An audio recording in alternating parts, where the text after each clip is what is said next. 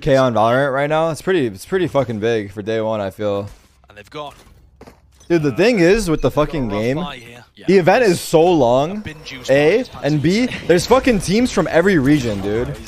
So like, there's fans from every part of the world. What the You can fuck? see the What? from Edward Gaming. They know that they have to try and Doing find it. Overheat? everything Oh, oh man, I would have posted that shit on my TikTok. Wait, wait, wait, hold on, hold on, hold on, hold on. It's done, man. The clip's ruined at this point. Okay, sorry, my Even a bad. trailblazer, I mean, I have a guy that can make it Yeah, seem like you that's know. right, yeah. Cool, yeah, fuck it, yeah, fuck my channel prediction. Takes it anyway. Jinggg stole the ace. Uh, I mean, the pause in the character model says it all. Can't believe.